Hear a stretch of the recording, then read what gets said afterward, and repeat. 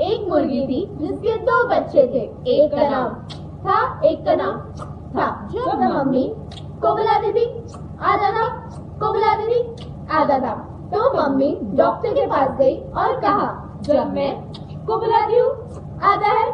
को बुलाती हूँ, आधा है। तो डॉक्टर ने कहा, का नाम रख दो, का नाम रख दो।